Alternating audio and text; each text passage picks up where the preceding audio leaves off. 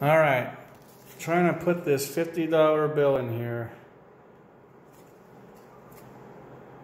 Why does everything have to be so perfect for this ATM machine? Why can't it just take any bill?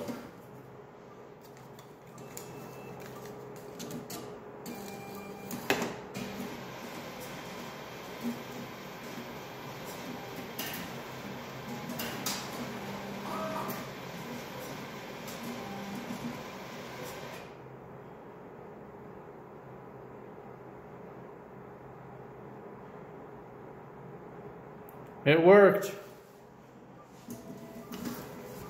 See, but I shouldn't have to put one bill in at each time. They should be able to take all three at once.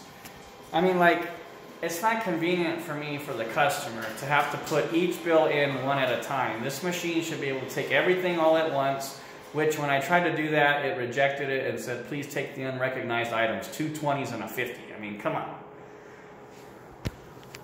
Oh, now it works because I am putting it in one at a time.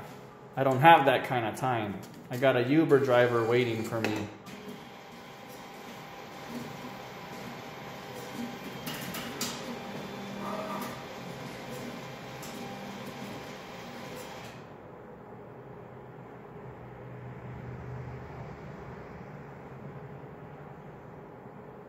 All right, work this time.